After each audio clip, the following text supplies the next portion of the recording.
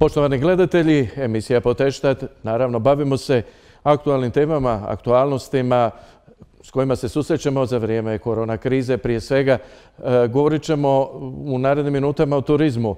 Hrvatska je zemlja čiji e, bruto društveni proizvod i tekako ovisi o turizmu, čak 20% e, naše gospodarstva zapravo čini turizam i sigurno da bilo kakva oscilacija kada je turizam u pitanju i tekako djeluje na kompletnu krvnu sliku naše ekonomije, naše gospodarstva.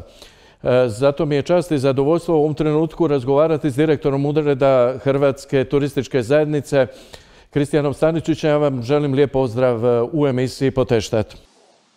Dobar dan vama, vašim gledateljicama i gledateljima i lijepi pozdrav. Evo, na samom početku, e, gospodine Staničiću, postoje li u ovom trenutku bilo kakve projekcije e, što i na koji način i kako će uopće izgledati ako je bude ova turistička sezona? Pa ja ne bih davao nikakve konkretne procjene s obzirom na činjenicu da smo mi evo u ovakvoj situaciji u kojoj se nalazimo već više tjedana, rekao bih čak i mjeseci i e, ono što je do jučer tako reći bilo e, u neku ruku očekivano i normalno s obzirom na činjenicu da smo e, vrlo dobro krenuli u ovu turističku godinu, naravno to je sad sve iza nas i okolnosti su se bitno, bitno promijenile. Prema tome, teško je reći što će biti sutra, a kamoli što će biti tijekom ljeta kada Hrvatska očekuje u normalnim okolnostima, naravno, najveći broj e, turista e, iz inozemnih zemalja, a kamoli do kraja cijele godine. E, teško je i nezahvalno davati bilo kakve prognoze, ali evo, ja ću biti ipak umjereni optimista i na kraju reći da se ipak nadam da ćemo uhvatiti barem dijelić turističke one ljetne sezone, tamo možda kolovos i rujan koji je tradicionalno isto tako iznimno dobro posjećan i da ćemo ipak pokrenuti na neki način turizam u ovoj godini. Naravno, e, postoje različiti napisi i u medijima i govori se zapravo o nizu nekakvih tema koje su vezane za mogućnost turističke sezone. Neki spominju koridore iz Češke, dakle to je dosta popularno u zadnje vrijeme. Koliko zapravo mi možemo računati zapravo na turizam koji će biti baziran na domaćem turizmu, ili pak e, na ljudima koji su automobilski turisti i koji zapravo dolaze iz najbližeg okruženja, tu prije svega mislim na Austriju, Sloveniju, pa i Bosnu i Hercegovinu. Koliko zapravo možemo računati na to? Pa gledajte, e, činjenica je da 90% gosti u koji su dolazili u normalnim okolnostima u Hrvatsku su zapravo strani gosti. Od tih 90% najznačajnija tržišta su upravo ova tržišta u našem okruženju, dakle susjedne zemlje poput e, Slovenije, Italije i Mađarske, ali naravno i e, ostale zemlje poput Austrije, Njemačke koja je naša naj, najvažnije turističko tržište, Češke, Slovačke, Poljske i tako dalje. E, u proteklim godinama iznimno intenzivno smo radili na uspostavi i jačanju avioprometa što je dalo rezultata da se povećao i broj aviogosti u Hrvatskoj E, međutim, naravno, to sad više nije slučaj i mi ćemo se upravo iz tog razloga, s obzirom na činjenicu da je avioprijevoz na razini svijeta i Europe posebice obustavljen, e, mi ćemo se fokusirati upravo na autodestinacije, odnosno autotržišta koja su u našoj bliskoj blizini i to se odnosi praktički na sve naše susjedne zemlje. E, ja vjerujem da mi tu imamo šansu zato što Hrvatska ima E, iznimno dobru e, autopovezanost e, i sa mrežom vlastitih autocesta i brzo smo dostupni i blizu smo dostupni svim tim velikim tržištima odakle dolazi najveći broj gostiju. Ujedno smo i sigurna zemlja s obzirom i na okruženje, odnosno tu sigurnost ćemo manifestirati kroz ovo što radimo i sada, dakle gdje se provode mjere u, u e, cilju suzbijanja koronavirusa, ali e, ja bih rekao i povezao i malo situaciju s onim što radi Hrvatska turistička zajednica koja već neko vrijeme zapravo intenzivno radi na društvenim mrežama i na komunikaciji sa e, ključnim dionicima na svim tim tržištima. Naime, mi smo još od kraja siječnja obustavili sve kampanje i fokusirali se na društvene mreže koje nam daju dobre rezultate u smislu posjećenosti jer smo željeli kroz te aktivnosti zapravo držati vidljivost Hrvatske i to nam se sada na neki način vraća. I od tud je krenula inicijativa čeških turističkih agencija kao jedan primjer, ali ja vjerujem da će biti takvih inicijativa još i vjerujem da će i ministarstvo i vlada Republike Hrvatske učiniti sve da upravo pomogne u e, daljem razvoju oko eventualne mogućnosti dolaska turista u Hrvatsku e, iz tih zemalja. Naravno, sve će to ovisiti o razvoju situacije sa koronom i sve će to ovisiti o tome koliko ćemo se i mi sami pridržavati mjera i zato je važno da sada budemo disciplinirani i ostanemo doma s jedne strane, a s druge strane da onda kad se ostvore uvjeti i oslobode malo uvjeti putovanja i na, nacionalni, na nacionalnoj i na međunarodnoj razini da se onda e, pripremimo za ono što, što slijedi. Dakle, mi ćemo sada za koji dan ići i dalje sa marketinškim aktivnostima upravo prema tim tržištima u kontaktu smo i sa međunarodnim organizacijama i sa e, međunarodnim i turističkim udruženjima i evo budno pratimo i aktivni smo u toj komunikaciji koja je vrlo važna za budućnost razvoja turizma globalno. E, drago mi da, ste odgovorili na pitanje koje sam htio postaviti, a to je zapravo djelatnost Hrvatske turističke zajednice u ovom trenutku. E, može li e, naš turizam računati, srećom on je zapravo vrlo, ima različite komponente u sebi koje su dobro razvijene, može li dakle računati na kampove koji sami po sebi već imaju distancu, i s druge strane, e, evo čak i neki strani mediji pišu o tome da će Hrvatsku ove godine spasiti nautički turizam. E, čak 40% inače, ja mislim, svjetskog nautičkog turizma je u Hrvatskoj. I da ove godine zapravo možemo računati na to da bi nautički turizam mogao na neki način spasiti sezonu. Što mislite o tome? Pa, e, naravno da se u medijima i javnosti pojavljuju različite sintagme ili formulacije. E, ja ne bih govorio o spašavanju e, hrvatskog turizma, niti o pokušaju spašavanja s bilo čije ili bilo koje strane. Bilo da se radi o domaćim turistima, bilo da se radi o kampingu, nautici, privatnom smještaju ili tako dalje. To su sve vrlo važne komponente ukupnog turističkog prometa u Hrvatskoj, ukupne turističke industriji i naravno da će svaka od tih komponenti ili segmenata turizma u Hrvatskoj dati svoj doprinos. E, naravno, ukoliko e, se stvore uvjeti i taj doprinos će biti na onoj razini na koje će biti moguće e, realizirati određene turističke promete i opet ponavljam kad se za to stvore uvjeti. Sigurno da nautika, dio obiteljskog smještaja, dio kampinga u tom segmentu imaju prednost ili, ili primjerice bolju mogućnost, da tako kažem, zato što e, se radi o segmentima gdje su turisti ipak e, ružne reći pod navodnicima izolirani, ali imaju e, jednu dozu privatnosti više i to je u skladu s onim što su i preporuke nacionalnog stožera, dakle da ipak imamo određeni nivo te takozvane socijalne distanciranosti. E, kada vi iznajmite kuću za odmor, onda boravite u njoj sami, naravno sa svojom obitelji ili sa najbliskim prijateljima, isto tako vrijedi i za mobilne kućice u kampovima, pogotovo za plovila gdje ste zapravo e, na neki način uvjetno rečeno izolirani od ostalih i to daje, da, i to daje prednost pred ostalim segmentima turističke ponude, ali ja vjerujem da će se iznaći e, rješenje i, i način na koji će se integrirati svi ostali oblici turističke ponude, pa i od ugostiteljstva e, i, i svega onog što je naslonjeno na turizam, budući da je turizam jedna široka horizontalna djelatnost. I na taj način je u ovom trenutku, vratit ću se malo na sustav turističkih zajednica, vrlo važno da i turističke zajednice aktivno sudjeluju u kreiranju e, onoga što slijedi kad se za to stvore uvjeti kroz promotivne kampanje, kroz e, promociju oglašavanja, ali i kroz koordinaciju i informiranje svih dionika u turizmu na terenu. E, primjerice, mi smo pred nešto više od mjesec dana kroz sustav e-vizitora isto tako prosljeđivali i puštali puno informacija koje se tiču obiteljskog smještaja nadalje, informacije koje se tiču i mjera vlade odnose se na određene segmente turizma.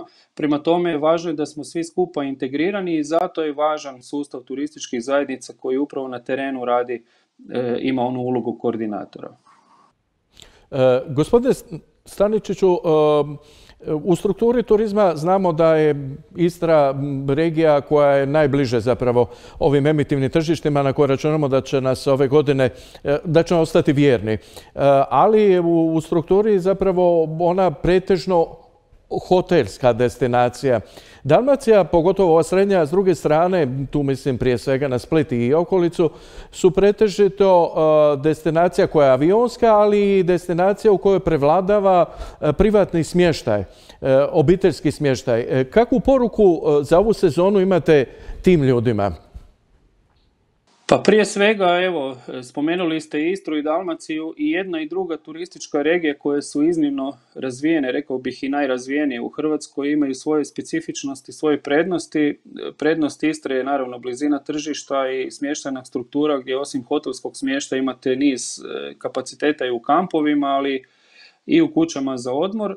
S druge strane, Dalmacija ima e, ogroman potencijal u ovakvoj situaciji, upravo u privatnom smještaju. Opet bih tu istaknuo isto tako kuće za odmor, primjerice ono što mene posebno veseli je i razvoj zaleđa Dalmacije, kao što je Imotska krajina, ali i ostale subregije unutar e, cjelokupne Dalmacije. I upravo tu vidim jedan, e, jednu mogućnost i jedan daljnji, ovaj, jednu daljnju mogućnost za rast i oporavak u ovakvoj situaciji a s druge strane e, ono što bi trebala biti poruka je prije svega da se u ovom trenutku pridržavamo svih mjera koje e, nam nalaže nacionalni stožer civilne zaštite kako bismo svi skupa doprinijeli tome da e, stavimo koronu pod kontrolu, odnosno da suzbijemo što je prije moguće pandemiju i da onda postupno u koordinaciji svih dionika i javnog i privatnog sektora i vlade s jedne strane, nacionalnog stožera s jedne strane, ali e,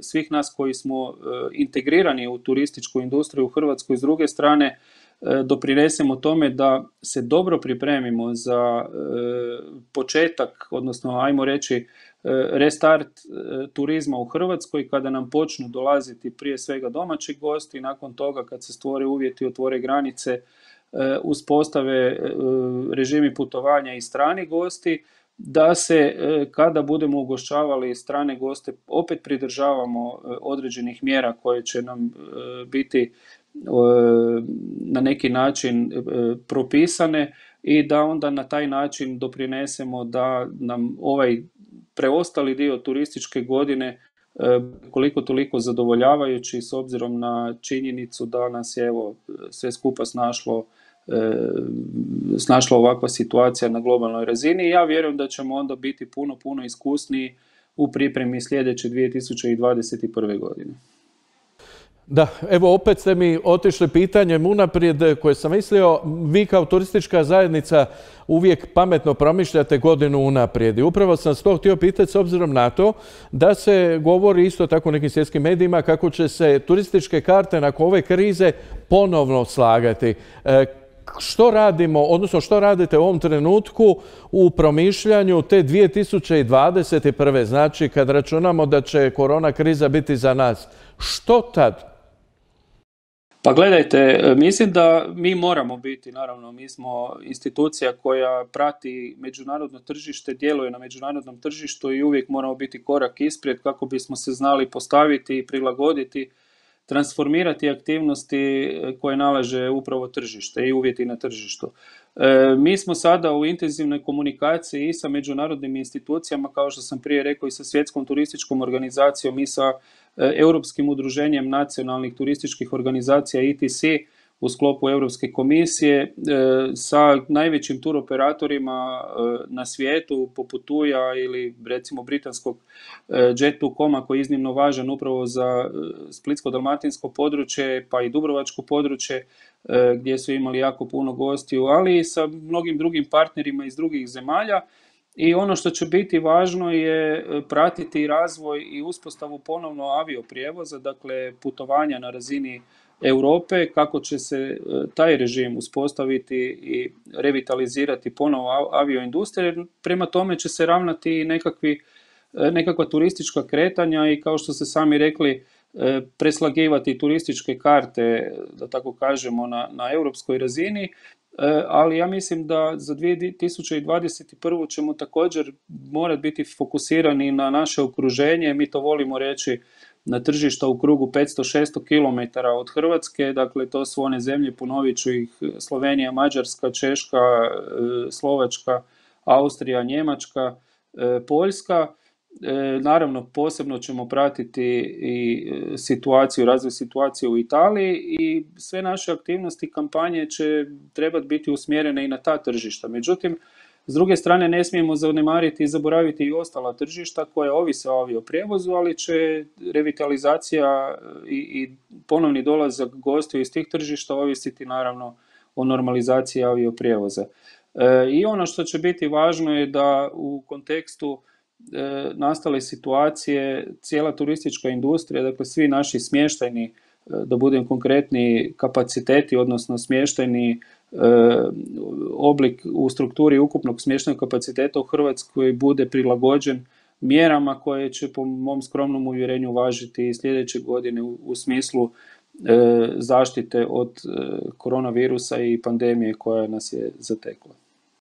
E, posebno u ovoj situaciji ranjeno ili ranjivo je ugostiteljstvo. Imate li možda kakvu poruku za njih? E, oni sigurno strepe nad svojom budućnošću, očekuju možda neke poteze da se da dođe možda neka situacija gdje mogu otvoriti svoje objekte po određenoj, po nekim pravima određenima i tako dalje. Imate li kakvu poruku za njih?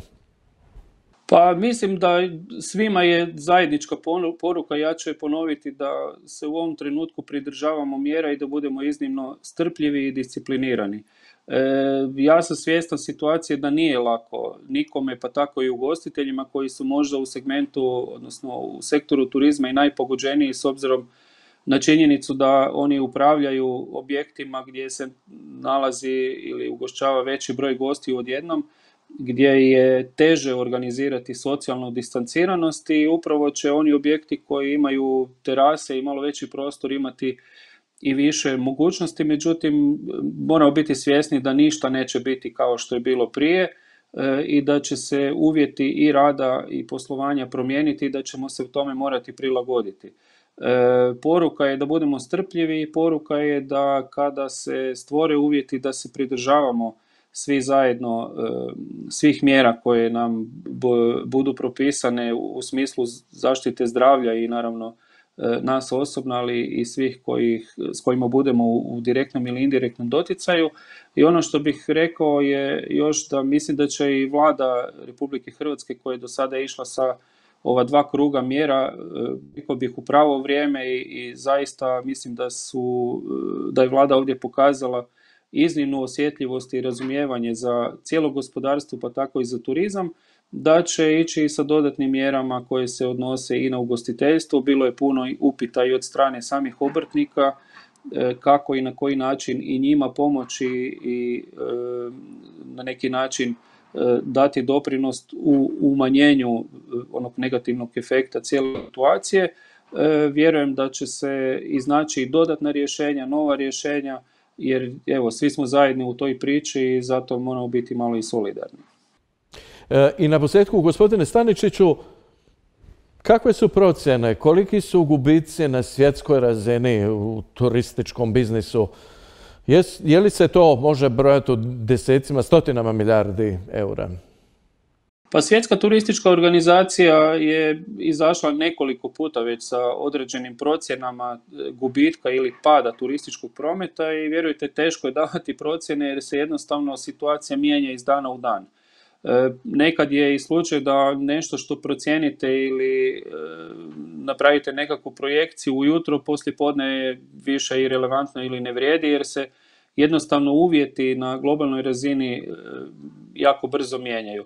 Zadnje procjene govore o tome da e, UMVTO, dakle Svjetska turistička organizacija, planira pad od preko 30% na globalnoj razini, ali mislim da je sad ta brojka već u postotku i blizu 40% turizma, što po zadnjim procjenama znači negdje oko 450-460 milijardi dolara gubitka na svjetskoj razini. No vidjet ćemo kako će se dalje situacija razvijati, teško je davati neke konkretne procjene, ali u svakom slučaju ono što je izvjesno da će gubitak turizma i ove godine biti iznimno velik i da će turizam uz promet biti najpogođeniji sektor ove pandemije. Evo ga, došli smo do kraja razgovora. Kako je voditi turističku politiku od doma? Pa evo, ja moram reći da smo se i mi vrlo brzo prilagodili situaciji. Moja ekipa je podijeljena u tri grupe. Mi smo trenutno sada, naravno, bila u početku, sad smo naravno e, osigurali e, uvjete da svi radimo od doma. Ja sam, s obzirom na svoj posao, i mobilan, pa bude malo u Zagrebu, malo doma. E, Bogu hvala imamo tehnologije pa ih e, uspješno i koristimo ovak, na, upravo na i ovakav način, dakle video pozivima. E, učestalo smo u komunikaciji sa svojim predstavništima u svijetu i sa našim kolegama unutar turističke industrije u Hrvatskoj. Iznimno intenzivno komuniciramo s ministarstvom, s ministrom Kampelijem se ja čujem dnevno više puta, što je logično. I evo, ja vjerujem da uz strpljenje, pridržavanje mjera da će doći uskoro i e, neću reći kraj, ali e, i ublažavanje mjera pa da ćemo se moći malo e, intenzivnije kretati unutar Hrvatske i evo ja se veselim da će jedno od mojih budućih prvih putovanja biti upravo posjeta Splitsko-dalmatinskoj županiji. Veselimo se i mi što ćemo vas vidjeti ovdje jedva čekamo zapravo da se situacija stabilizira i e, ma, pobjedit će Hrvatska sve to skupa. Vjerujem u nju. E, hvala vam e, na ovom razgovoru i naravno ostanite zdravi i ostanite doma. Hvala vama, svim vašim gledateljicama i gledateljima i lijepi pozdrav. Ostanite doma i vidimo se uskoro. Hvala lijepo još jednom. Poštovani gledatelji, bio ovo Kristijan Staničić direktor Ureda Hrvatske turističke zajednice.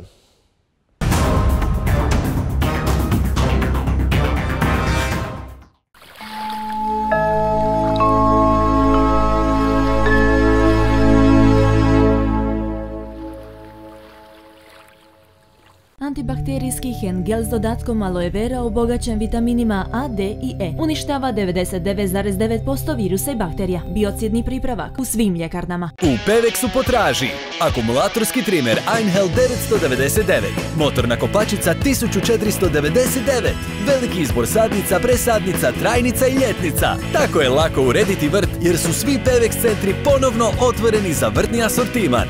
Pevex Normalan protok krvi kroz vene odvija se pomoću kontrakcije mišića, a vene su opremljene posebnim zaliscima koji osiguravaju protok krvi samo u jednom smjeru. Bilo koji pritisak ili utjecaj na zaliske poput nošenja tvrde obuće koja izaziva venski stres, dugotrenog sjedenja ili stajanja, prekomjerna težina i slično može dovesti do pojave proširenih vena. Jedan od glavnih uzroka nastanka proširenih vena je korištenje nenamjenske obuće. Iz tog razloga tvrtka Dr. Luigi proizvela je John za amortizaciju venskog stresa, koji spriječava nastanak proširenih vena na donjim ekstremitetima i omogućava nesmeta rad venskih zalisaka pri hodanju i stajanju.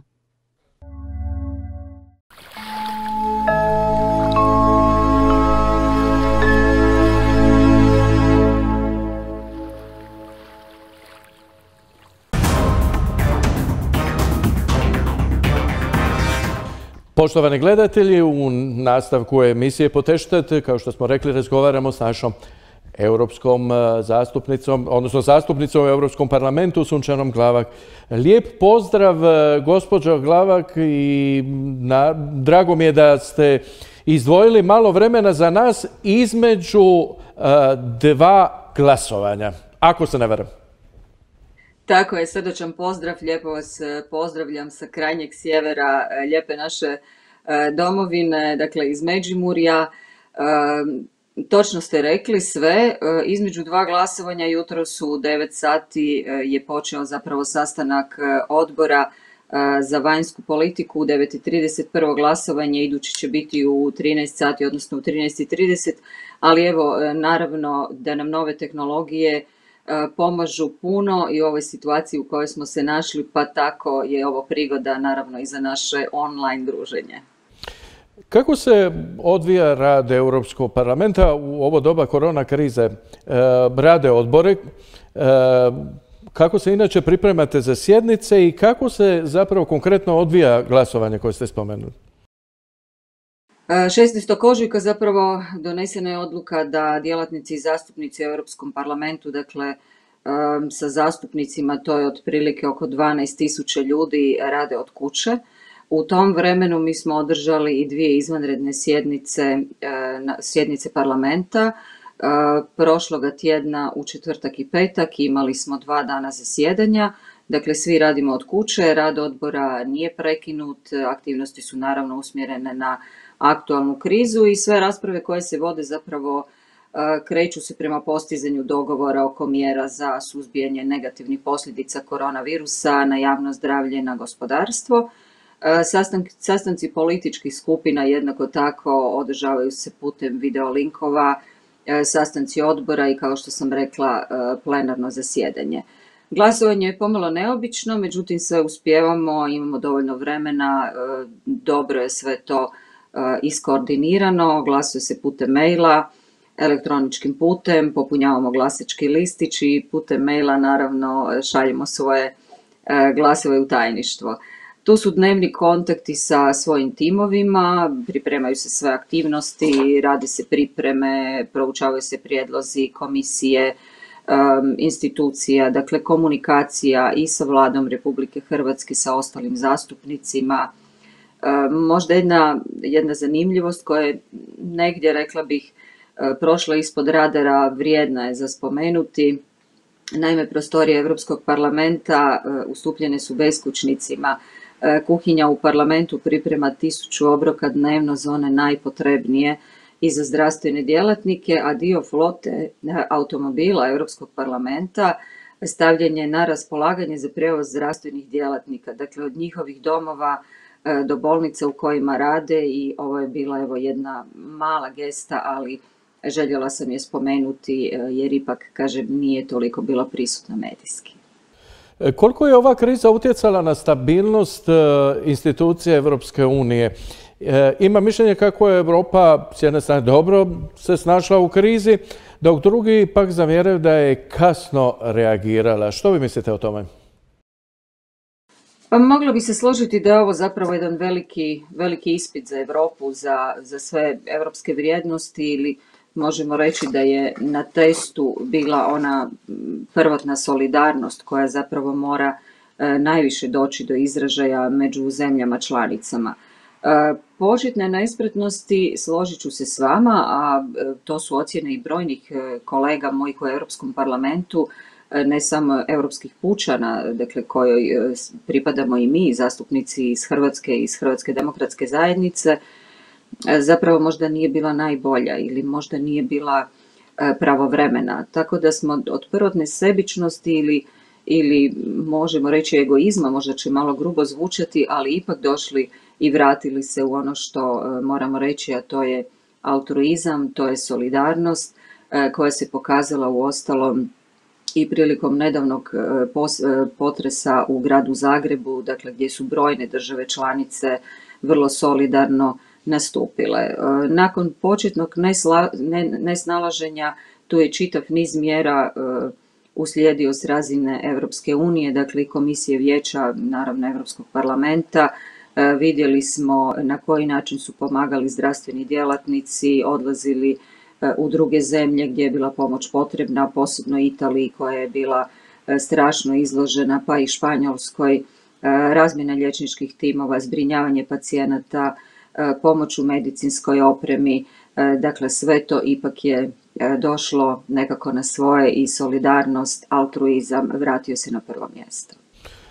Hrvatska evo, predsjeda Europskom unijom do 30. lipnja i ima težak zadatak, stvarno ovo je izazovno vrijeme, vrijeme korona krize. Koliko je cijenjena uloga Hrvatske unutar Europske unije u ovom trenutku i na čemu Hrvatska treba inzistirati tijekom svog presjedanja? Ma, izuzetno je cijenjena, dakle mi smo zapravo i naš slogan nekako se poklopio snažna Europa u svijetu punom izazova nismo mislili da ćemo se susresti upravo sa ovakvim golemim izazovima kakve svijet ne pamti. Ali samo dozvolite mi na trenutak da se vratim možda i na prethodno pitanje što je sve ono, ono što je sve učinjeno dakle, u pomoći drugim zemljama, a tu je naravno i Hrvatska kao zemlja koja predsjeda trenutno učinila puno da bi se ta koordinacija između zemalja poboljšala, bila vidljivija, dakle pokrenuta je i zajednička javna nabava respiratora. Nabavlja se puno medicinske opreme, maski, zaštitnih odijela, dezinficijensa preko mehanizma civilne zaštite, posebno Italiji, Španjolskoj i zemljama koje su još uvijek u teškoj situaciji. Donesena su dva paketa pomoći srpskom e, gospodarstvu, dakle na našim sjednicama u ožujku i travnju. E, izglasali smo investicijsku inicijativu od 37 milijardi eura, a mislim da ćemo proći još e, malo kroz ove brojeve u kojima se možemo pogubiti jer svaki dan je neka nova informacija. E, omogućena i preraspodjela unutar fondova kohezijske politike 28 milijardi eura. Dakle, Hrvatska je sa svime time zapravo koordinirala i mislim da je jako dobro obavila posao, a to je i nekakva povratna informacija od svih ostalih kolega. Dakle, održavaju se sjednice Europskog vijeća putem video linkova, ministarske konferencije, odnosno sastanci na ministarskoj razini, E, dakle, početna agenda naravno da se promijenila jer e, svi mi živimo u potpuno novim okolnostima u kakvima nismo mogli zamisliti da ćemo živjeti, tako da smo se svi prilagodili. E, međutim, Hrvatska je puno napravila i od onoga što je zapravo bilo u početnom programu zapisano. Nemojte zaboraviti da je predsjednik vlade gospodin Plenković prošle godine snažno zagovarao E, pristupanje Sjeverne Makedonije i Albanije, e, da je jednostavno to bilo jedno zatvoreno pitanje. Međutim, sada vidimo da su svi procesi e, za otvaranje tih pregovora otvoreni, dakle jedan, jedan, jedno veliko postignuće. Proširenje je, kao što se sjećate i sami, naišlo na veliki otpor. To je samo jedna od stvari. Dakle, Koordinacija u ovim teškim vremenima s razine Hrvatske kao predsjedateljice ocijenjena je vrlo visokim ocjenama i mislim da smo u ovim izazovnim vremenima pokazali da možemo diktirati tempo, da možemo nametati tempo i stavljati na dnevni red europskih institucija ono što je u ovom trenutku potrebno. E, upravo se nadovezujem na ovo što ste prethodno rekli. E, naime, vrhunac e, Hrvatskog presjedanja Europskom unijom je svakako konferencija Europska unija Zapadni Balkan, koja je zbog korona krize odgođena, trebala biti 7. i 8. svibnja u Zagrebu. Kako gledate na europske perspektive ostalog dijela hrvatskog susjedstva, pogotovo u svjetlu jačanja nekih autokratskih režima u zemljama kandidatkinjama? Vratila bih se prvo na ovo, na ovo što ste rekli, e, dakle hrvatsko e, predsjedanje. E, Hrvatska čini trenutno ono što je najpotrebnije, a to je dakle da se iskoordinira iskoordiniraju gospodarske mjere koje su potrebne za oporavak gospodarstva i izlazna strategija naravno kad ova kriza prođe, ali prije svega na osiguravanje života, odnosno zaštiti zaštiti zdravlja. E, kada govorimo o onome što je Hrvatska e, još učinila, e, htjela bih se samo vratiti i na Brexit. Već nam se čini da je to bilo jako davno s obzirom na ove okolnosti koje se odvijaju. Zahvaljujući angažmanu upravo Hrvatskog predsjedništva usvojili smo mandat za pregovore o budućim odnosima s Ujedinjenom kraljevinom. Hrvatska je kao predsjedavajuća aktivirala i poseban krizni mehanizam Europskog vijeća, dakle bio je to politički odgovor e, na krizu. E, tu smo uspješno ujedinili funkcioniranje svih institucija Europske unije, dakle čitav niz sastanaka na ministarskoj razini. Spomenuli ste e, Zapadni Balkan, odnosno Zagreb Summit, ja vjerujem prema svim najavama on će biti održan, ali ne u ovakvom formatu u kakvom je bio planiran. E, trebao je biti 6. i 7. svibnja. E, hoće li to biti u lipnju e, ili će to biti neki drugi datum, ali u svakom slučaju on će biti održan. Ne smijemo zaboraviti ni razgovore o pokretanju konferencije o budućnosti Europe. Naravno da će ona u novo nastalim okolnostima imati jednu sasvim novu perspektivu. U ovim okolnostima posebno želim naglasiti kako će portfelj naše potpredsjednice e, Dubravke Šujice biti posebno u fokusu. Dakle, održavanje će naravno ovisiti o razvoju trenutnih prilika, ali e, Hrvatska je dorasla zadatku usmjeravanja i aktiviranja prioriteta i aktivnosti Europske unije. Kada me pitate za ono što se događa u nekim, nekim drugim zemljama, Dakle, razgovarali smo o tome i na odborima, dijelom i u rezoluciji koju smo izglasali u petak. Međutim, moram reći da to možemo sagledati sa nekoliko strana. Prvo, odluka je bila da svi mehanizmi koji se donose moraju biti prilagođeni ovoj situaciji i moraju imati trajanje upravo koliko će trajati kriza. E, naravno da tu postoje mehanizmi i s razine Europske komisije i s razine e, Europskog e, parlamenta, kontrolni mehanizmi prije svega, ali ono što sigurno ne smije, a to je da demokracija ne smije ni u kom slučaju biti suspendirana. Dakle, i parlament i komisija u svojim dokumentima pozivaju članice da tijekom izvanredne situacije uvedu mjere koje će biti privremene, koje će biti ciljane i e, sukladne ugrozi s kojom se suočavamo. E, naravno da je tu i poseban naglasak bio stavljen na osiguravanje e, demokratskog nadzora primjene tih mjera. Tako da i Ursula von der Leyen, podsjetit ću vas samo, naglasila je da demokracija primjerice ne može funkcionirati bez slobodnih i neovisnih medija. A pokazalo se upravo da mediji imaju golemu, nezamjenjivu ulogu u ovakvoj krizi. Mediji su e, naš kontakt sa svim najvažnijim događajima i mediji su baš ono kao što se i kaže e, prozor u svijet. Kada spominjem medije, onda bih željela tu spomenuti nešto što je naravno povezano s medijima, a to je komunikacijska platforma e, koju pratimo proteklih mjeseci nešto s razine stožera civilne zaštite u Republici Hrvatskoj i kada je Europska pučka stranka sudjelovala u izradi e, rezolucije kao odgovor na koronavirus, e, jedna od stvari koju sam ja predložila jest zapravo i model komunikacijske platforme, odnosno ustroja stožera civilne zaštite kakav ima Republika Hrvatska. E, ono što bih posebno pohvalila, a recimo u drugim zemljama toga doista nema na ovakav način, dakle prvotno je naš stožer kao što znamo dva puta dnevno izvješćivao e, o tome što se događa u Republici Hrvatskoj, sada je to jednom dnevno, e, jer i regionalni stožeri, odnosno županijski stožeri se oglašavaju tijekom prije podneva, ali primjerice navešću vam primjer Belgije. Njihova premijerka e, u sad gotovo već evo drugom mjesecu korona krize obratila se svega dva puta. Naravno svaka zemlja bira svoj put, ali u komunikacijskom smislu E, kada je ovakva pandemija u pitanju, smatram da je taj trokut donošenja odluka s razine institucija, dakle u ovom slučaju vlade, zatim stožera civilne zaštite i vas medija kao posrednika prema svim javnostima iznimno važan i da je ta komunikacija, e, iako nigdje ni u jednoj knjizi nećemo na ovakav način imati opisanu moguću kriznu situaciju i komunikacijske procese u kriznoj situaciji, ona je izvrsno obavljena.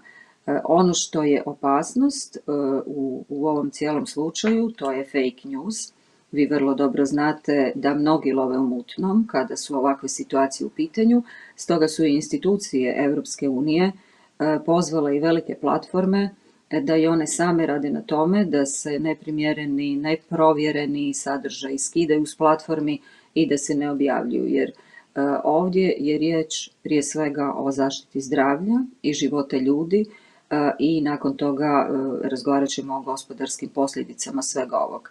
Tako da možda se vam sada malo proširila kontekst ovog vašeg pitanja, ali smatram da je bilo važno to reći s obzirom da se svi nalazimo eto, u novim okolnostima i zapravo su nam mediji ti kojima možemo E, planirati e, svoje sutra ili svoje preko sutra kako će izgledati e, naši dani i naši životi. Drago mi je da ste spomenuli medije. Što se tiče, evo ja bih samo primijetio autokratskih režima, to sam prije svega mislio na suspenziju rada parlamenta u ovom trenutku u Srbiji, gdje je teče rasprava da li treba parlament raditi ili ne, ali je nekakav stav vladajućih da ne radi. Pa eto, u tom kontekstu sam pitao, ipak parlamenti u Europskoj uniji rade. Ali idemo dalje s temama Preću već na europske mjere e, za spas radnih mjesta i gospodarstva u Hrvatskoj koje je izglasao Europski parlament.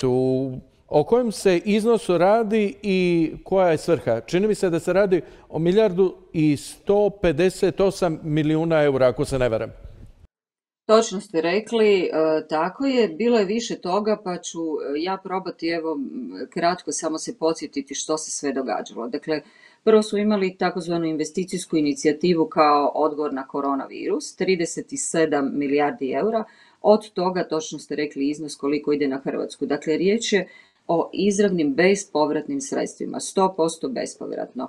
Ona su namijenjena e, zdravstvenim sustavima, malim i srednjim e, poduzećima, tržištima rada i drugim ugroženim djelovanjima e, gospodarstva. To je ono što je najzvučnije naravno bilo Međutim, ne smijemo zaboraviti ni kohezijske fondove e, na kojima smo inače i mi inzistirali e, kada su počeli pregovori oko novog e, višegodišnjeg financijskog okvira, jer je Hrvatska zapravo zadnja koristila, odnosno koristila samo jedan sedmogodišnji proračun i smatrali smo da kohezijski fondovi zaslužuju da imaju veći iznos. Naravno da će se ponovo pokrenuti i razgovori oko novog višegodišnjeg financijskog okvira, i mislim da će se ovdje prioriteti e, snažno promijeniti.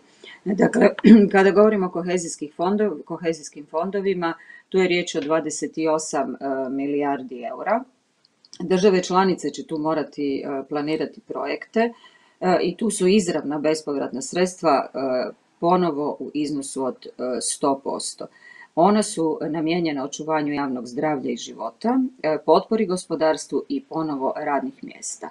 Fond solidarnosti Europske unije, dijelom sam ga već ispomenula, e, on iznosi 800, se, on iznosi 800 e, milijuna eura, dakle 500 milijuna je po godini, a s obzirom da je iz protekle godine ostalo 300, on je sada na razini 800 milijuna eura. E, tu će se prijavljivati projekti i to do 24. lipnja ove godine i tu je potrebno odobrenje vijeća i parlamenta za prijavljene projekte. Oni se mogu sufinancirati za pomoć stanovništvu, za podršku ranjivim skupinama, e, mjere za sprečavanje širenja bolesti, e, jačanje spremnosti i komunikacije i sl. E, imamo takozvani SURE program, on je u vrijednosti od 100 milijuna eura i on je isto tako za očuvanje radnih mjesta i bit će tu e, otprilike 100 milijardi eura e, zajmova. Dakle, zajmovi će pomoći državama članicama da se izbore s naglim povećanjem javnih troškova, što će biti neminovno, radi očuvanja zaposlenosti, što se već dogodilo i s razine naše vlade. E, države članice uputit će zahtjev komisiji, dogovoriti uvjete i procijeniti procijeniti rast javnih troškova, naravno. Europski fond za pomorstvo i ribarstvo mislim da ga nikako ne smijemo zaboraviti, 5,7 milijardi eura. Što se tiče Hrvatske, na raspolaganju nam je 252,6 milijuna eura.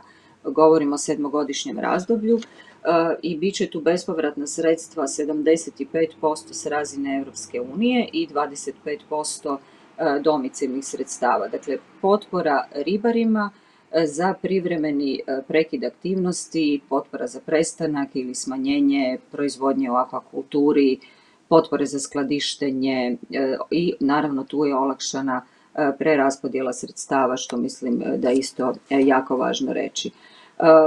Zatim Fond europske pomoći za najpotrebitije u visini 3,8 milijardi eura E, što se tiče Hrvatske, ako odmah pitate koliko mi tu dobivamo, naravno da je svakoj zemlji u interesu i građanima da vidimo konkretno e, što se to odnosi na nas. 43 milijuna eura u sedmogodišnjem razdoblju, to su izravna bespovratna sredstva u iznosu od 100%.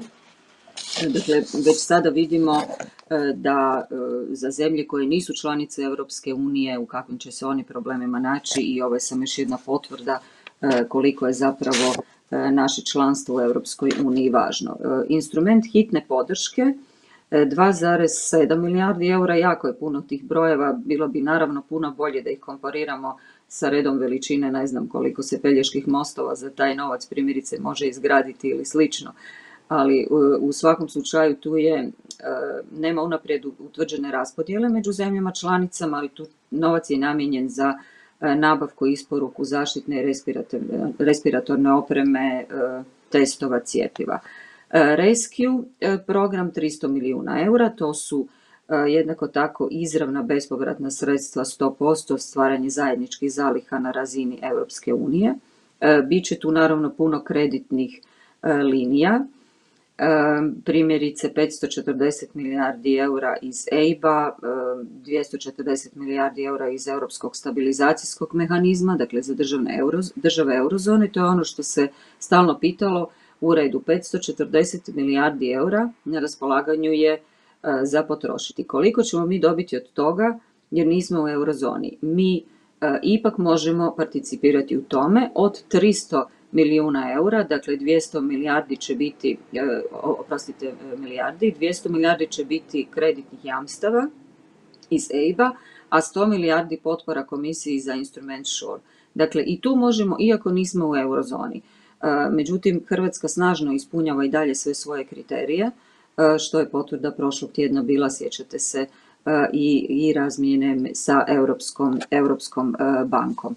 Tako da jako je puno na raspolaganju sredstava. Ono što je bilo jako dobro, što je fleksibilizacija postignuta Europskog fonda, dakle između tri europska fonda, tako da će biti i olakšani na neki način i kriteriji, a jednako tako i ispunjavanje svih potrebnih uvjeta i naravno opravdavanje sredstava, što naravno ne znači da se ona neće morati pravdati, ali puno je, puno je lakše, sve je nekako brže i vidjeli smo da Europska unija i u ovakvim okolnostima može i ubrzati svoj rad, izvanredne okolnosti promijenile su i način života u donošenju odluka ili u provođenju nekih mjera.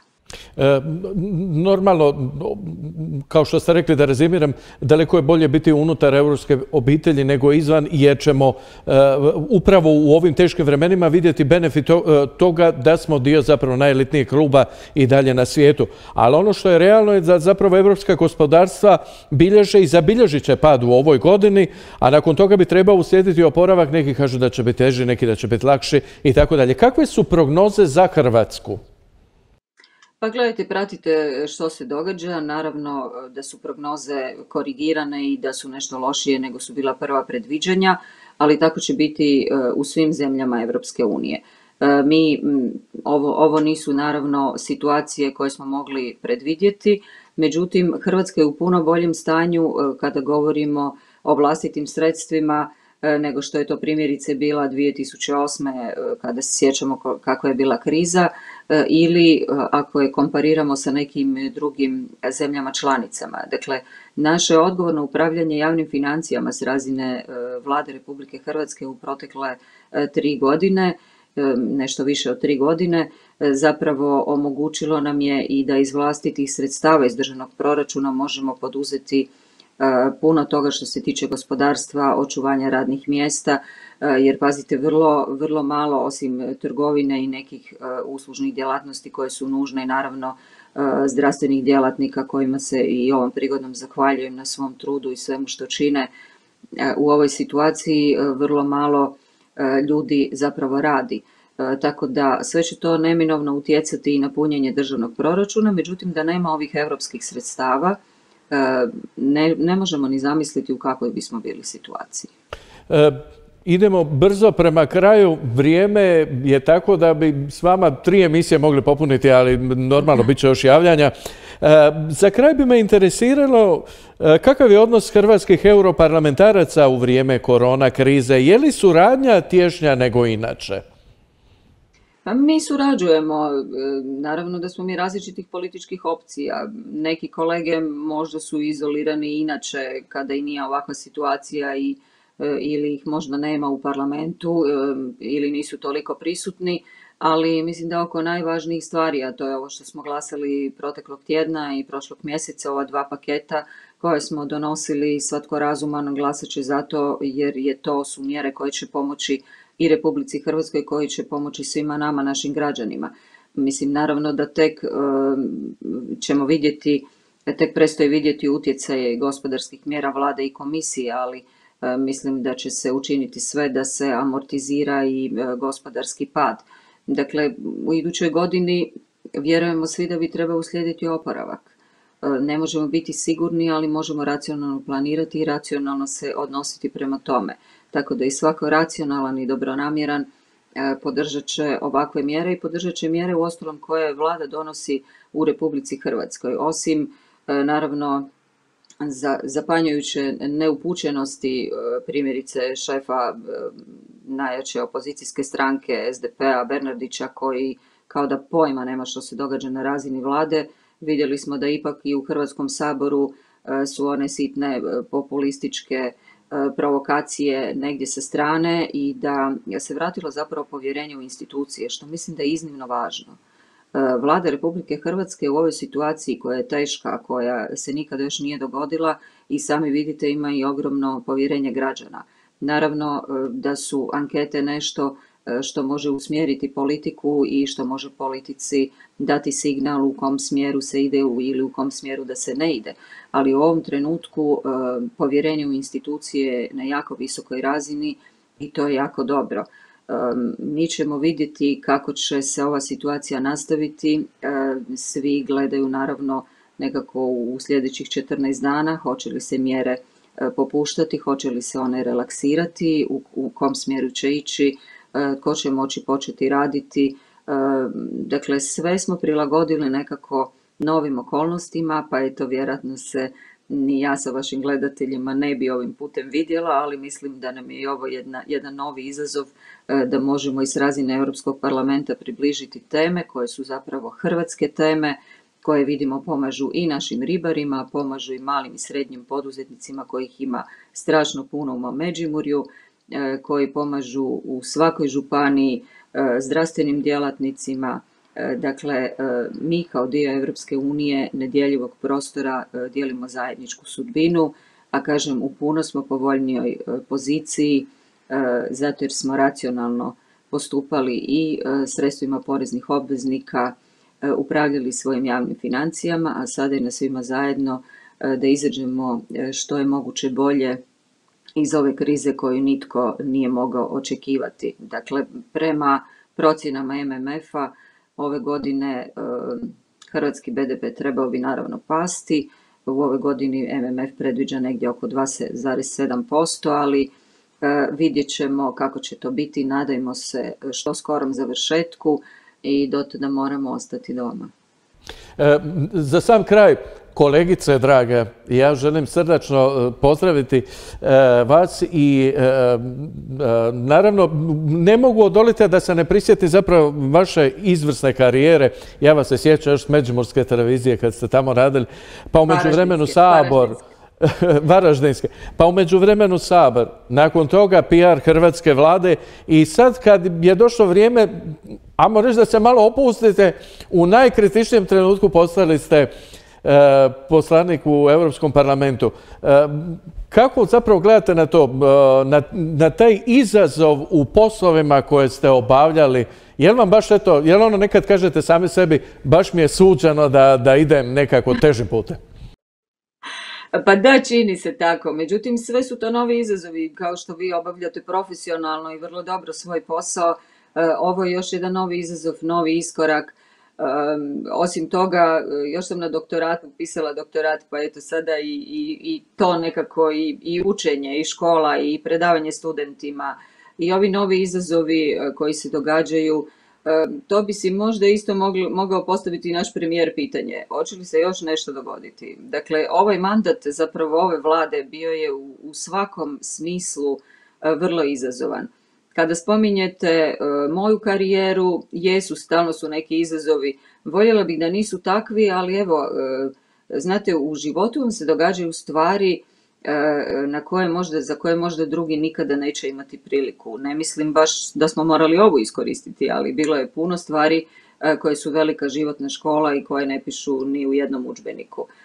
Tako da izazovi su tu da ih savladamo, ali kažem kako ste odgojeni, kako se odnosite prema bilo kojem poslu gdje god radite, mislim da će ljudi prepoznati vaš rad, a to je u konačnici najvažnije.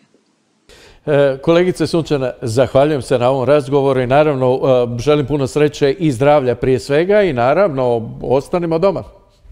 Ostanimo doma i ostanimo uz TV Jadran. Hvala vam lijepo puno na razgovoru. Poštovani gledatelji, poslušali smo e, Sunčanu Glava, zastupnicu u Europskom parlamentu, a za kraj emisije ostavili smo nešto ekskluzivno također, a to je snimka uklanjanja vrha i križa sa sjevernog tornja Zagrebačke katedrale u cijelosti. Dakle, pet minuta od Morha imamo taj video, pa eto za kraj pogledajmo kako je izvedena ta stvarno impresivna akcija. Poštovane gledatelji, bilo je to sve od nas. Ostanete uz naš program do gledanja.